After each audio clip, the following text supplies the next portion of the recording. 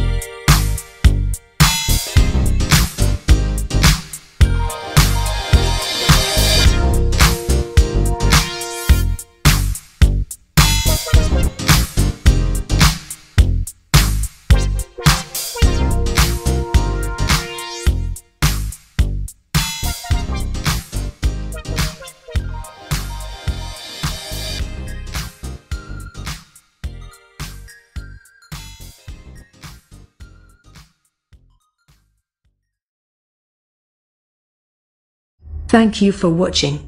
See you in next video.